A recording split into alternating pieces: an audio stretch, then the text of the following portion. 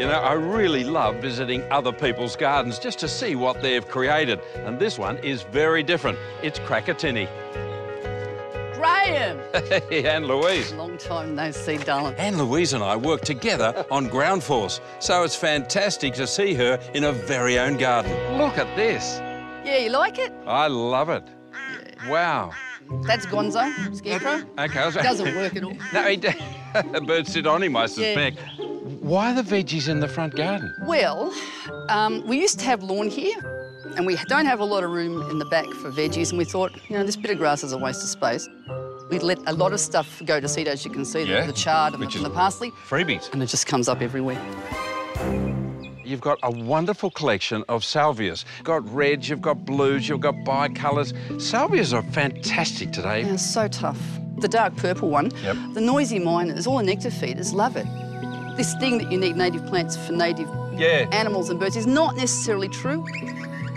Something that absolutely captured my mind as I came through, that incredible flower colour of the, the pomegranate. If I'm passionate about anything today, it's like people don't put trees in their gardens. Mm. Now, you don't have to put a huge tree, but there's a tree for every yard. And, and the beautiful thing about trees, apart from shade, is it takes your eye up and out, and it makes the space feel bigger.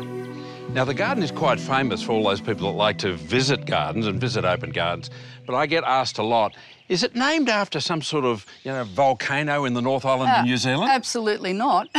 So where's Krakatini come from? Graham, you're Australian, right?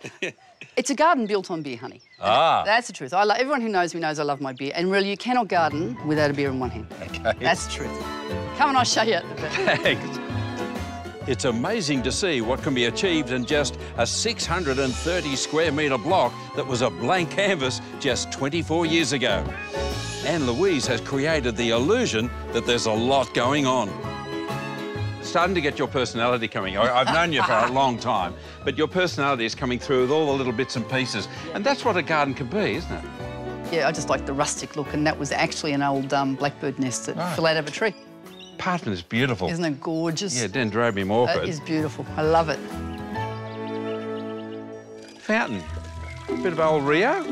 You like it? I do. It used to have a water barrel and it rotted out, and we thought, oh, it's a bit twee, so we got the old um, RSJs and just stepped it down. And yeah, we like rust.